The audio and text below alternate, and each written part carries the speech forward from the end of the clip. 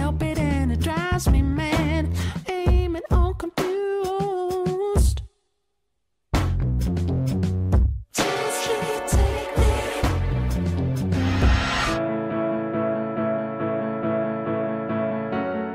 Today, I didn't just choose the man I can live with, but I have chosen to marry the person I cannot live without. And for me, that's you, B.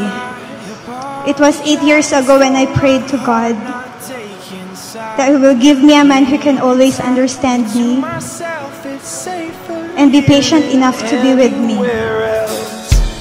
What if you're the one I've been waiting for? What if I found something worth staying for? What do I do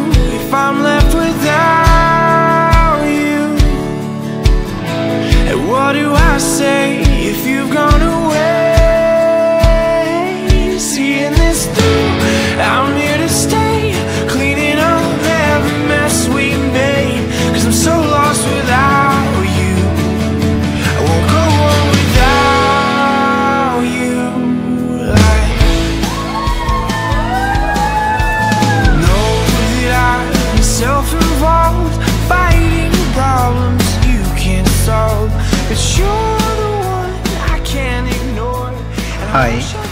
Bobby. Take you, Cheryl, to be my constant friend, my faithful lover, the mother of my children, and my wife from this day forward. In the presence of God, our family and friends, I offer you my solemn vow to be your faithful partner in sickness, in times of health.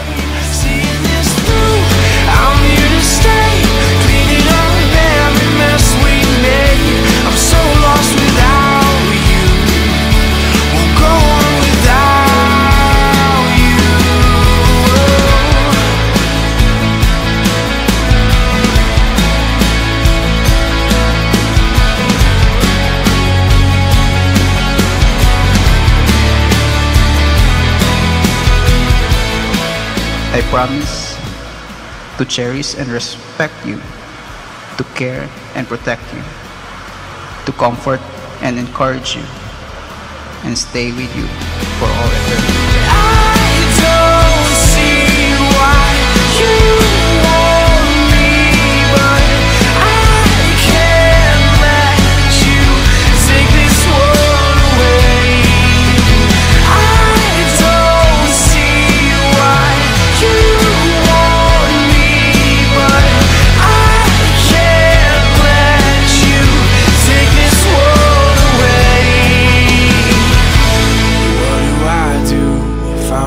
Bobby, you may now kiss your wife, Cheryl. And What do I say if you've gone away?